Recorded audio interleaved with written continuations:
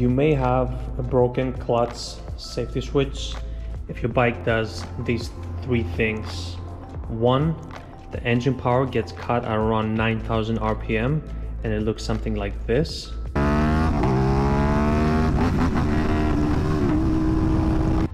Two, your auto blipper does not work.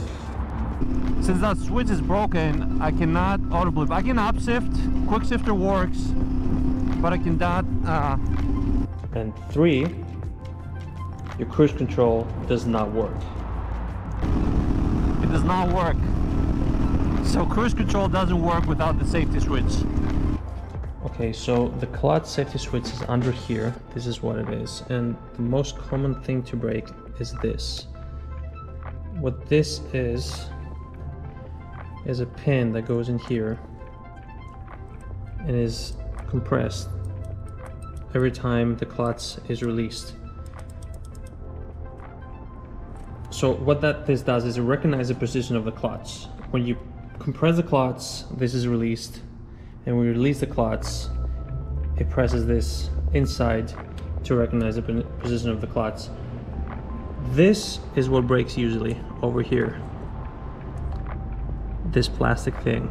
If this is what broke, then you do not need to replace the entire thing.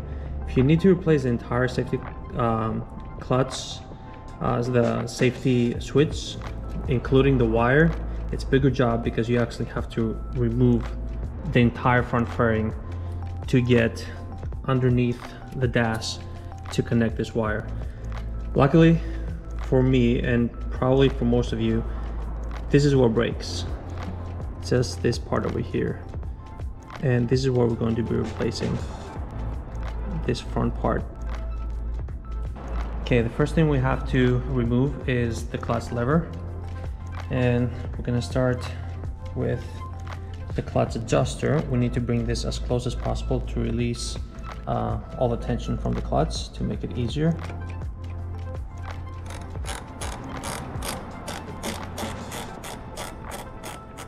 Okay, that's all the way to the front.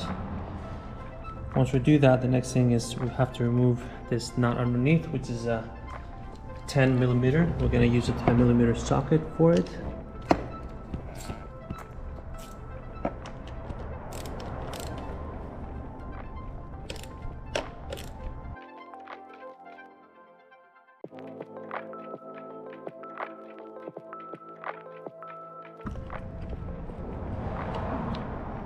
Okay, this is out. This is 10 millimeter. And then we have to remove from the top here this paint keeps it in place. That's the second thing. And then always remember when we remove the clots underneath here, there is a spacer over here. That because we have the lube inside, it won't drop. So we're good here. To remove this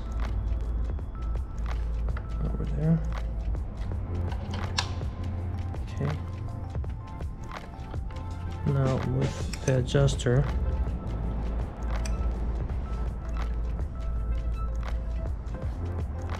I'm gonna align this opening here from the clutch adjuster.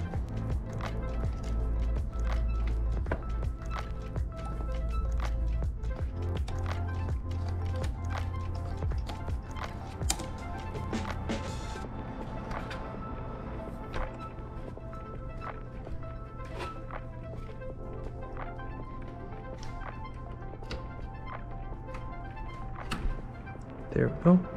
So we can remove the entire thing. And also we can remove it from here. Put this in the side and start removing the uh, base of the clutch lever. Okay, now we're gonna use an eight millimeter to remove this bolt, the clutch lever base. Okay, once it's loose enough, we can twist it around. In this room, I'm gonna show you where the safety switch goes in. Okay. This goes underneath here. Inside here. and once it's twisted underneath it comes out of here and this is where the clutch compresses with this over here. Presses the switch in here. So we're going to replace just the front part of the switch. See here two one two three four um, tabs here that we have to unclick and remove to uh, install the replacement. Okay one more time so you know exactly where it goes. It's in here and this is the replacement part. And replace this over here. See the difference so we're broke? This is what we're gonna replace over here. Okay now I'm gonna use a pick? And try to pry this up. Its sides there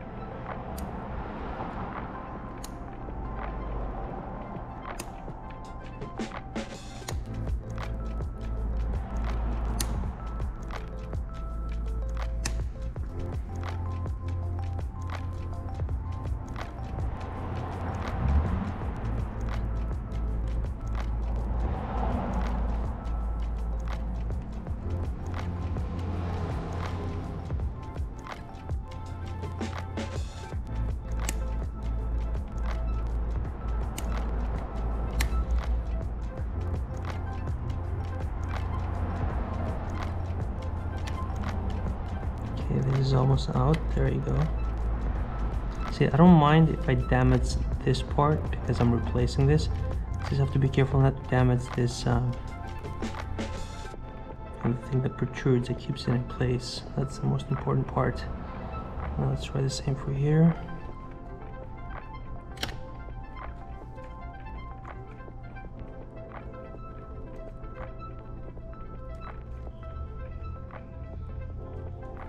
See, this is out over here. Okay. Okay, this is what the kit comes with. This is where you're gonna have the kit. The plastic thing that breaks, the pin, the spring, and the two uh, uh, nuts that you have to use to secure it in place. I'll show you later how you do this. So we have to use the spring, two pins, to insert it in here first before we install it there. Okay, these three parts, this golden pin, the spring will go in here, and this on top of it, and we'll have to insert this from underneath in there. The reason for that is it has a safety part that this does not drop. So no matter what happens, this does not drop. That's why you have to insert this first. And once you insert this in place, without dropping it, you have to insert it here. And this pin pushes this actuator over here. So let's insert this in place carefully so we don't break the plastic.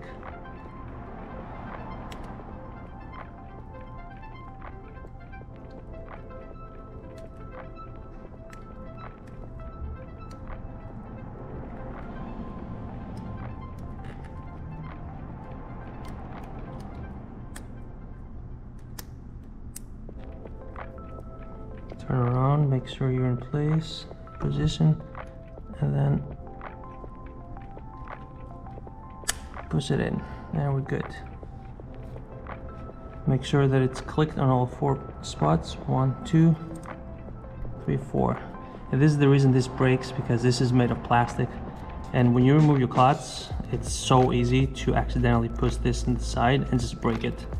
So we're good with that. You can test the actuator. You can hear it click so we're good to insert it in okay next step would be to place it in here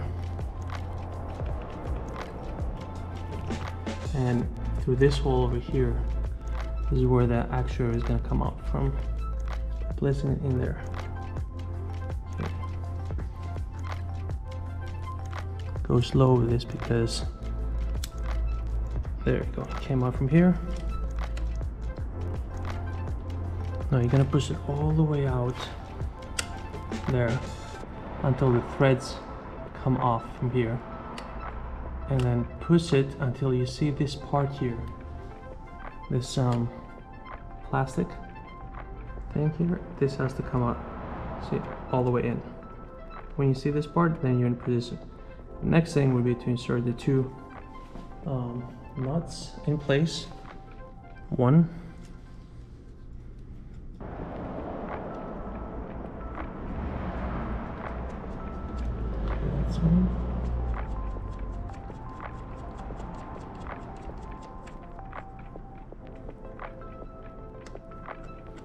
And then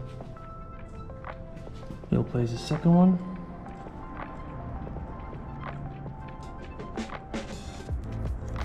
The second one is the safety, so it doesn't come loose.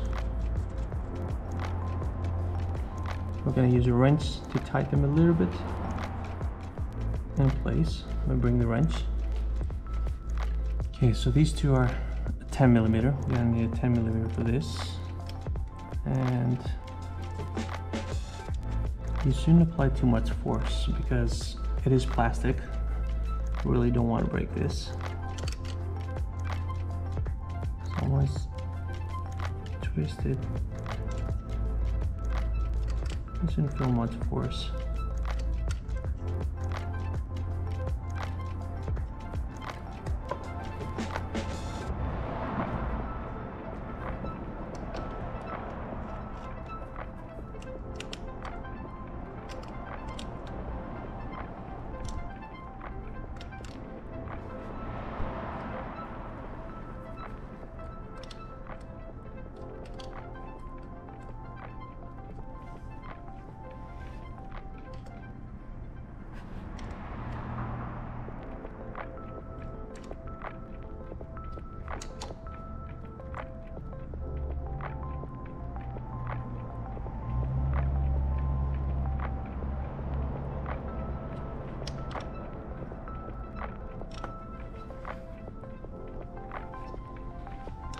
Okay, once you feel a little bit of resistance, that's pretty much enough tightness because it's plastic.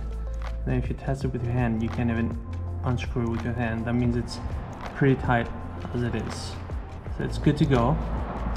We tested, the actuator works.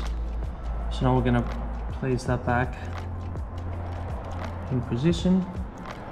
Gonna tighten this and then reinsert the clutch we have to make sure when we reinsert the clutch lever, lever to not break this again.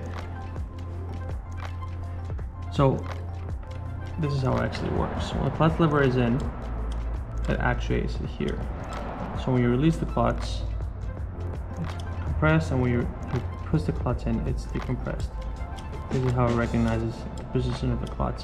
Now the problem is, a lot of times, and probably is what I did, when you remove the lever, you tend to forget about this being here.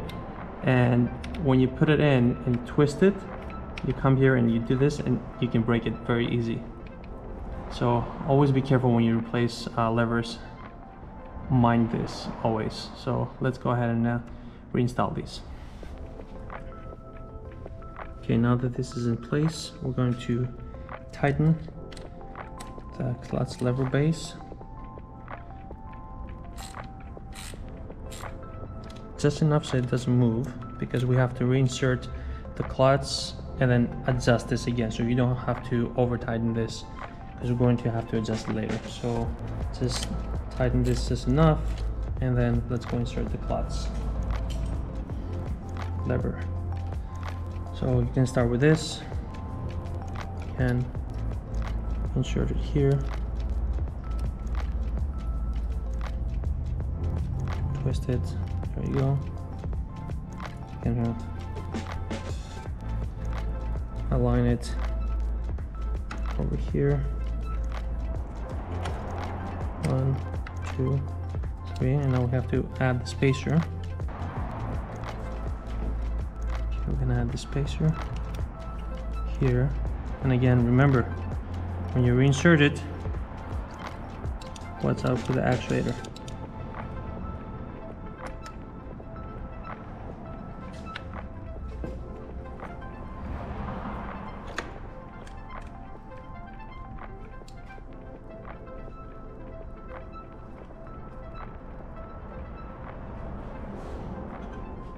insert the pin from the top.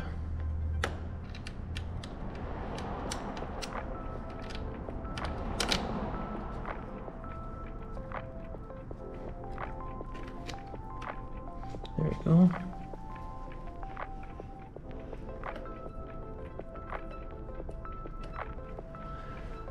Insert the 10 millimeter nut underneath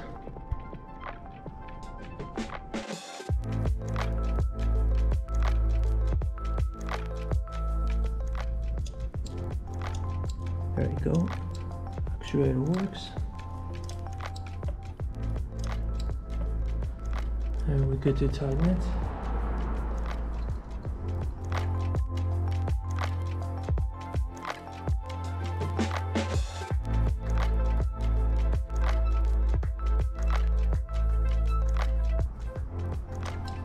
Remember when you tighten your, your clutch cable, don't tighten too much that it pushes it all the way here.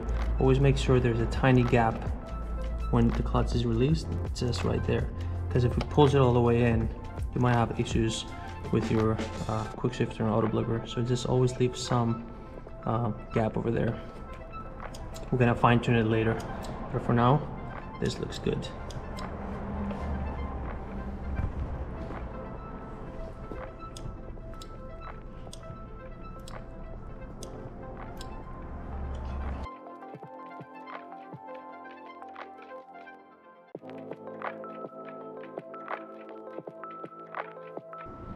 All right, guys, a very simple fix and we're good to go.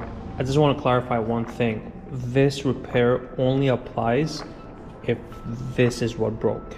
Okay, if the entire safety switch broke, this does not apply to it. This part is very cheap. Um, I'd say about six, seven dollars. I think I paid about fifteen dollars with shipping. Uh, it's very cost effective to repair.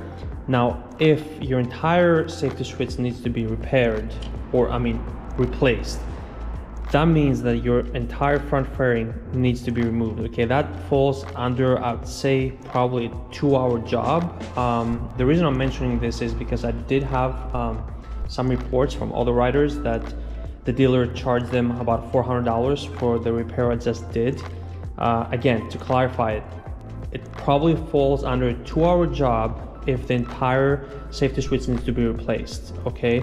Uh, safety switch is about i say 70 80 dollars. I'm, I'm not sure exactly how much. It's around that price. So including the price with tax and i would say an average of 140 to 150 an hour uh, that's dollars. Uh, i could see the 400 dollars for the entire entire repair. Um, completely justified. I understand why. But if this is the only thing that broke um, yes, it will cost you less than $20 and this is how you can repair it on your own. Now, I hope this helped you. Uh, if you did break or you did break it accidentally, don't feel bad about it. I know sometimes uh, guys have broken this by low siding uh, and the clutch broke it or by replacing the clutch lever. Um, hopefully this, this repair helped you uh, repair it on your own and uh, save some money. Uh, if you like this video guys, hit a like. Um, also, I would love it if you want to subscribe to my channel. It helps me a lot uh, making more videos. Uh, thanks for watching and I'll see you on the next one.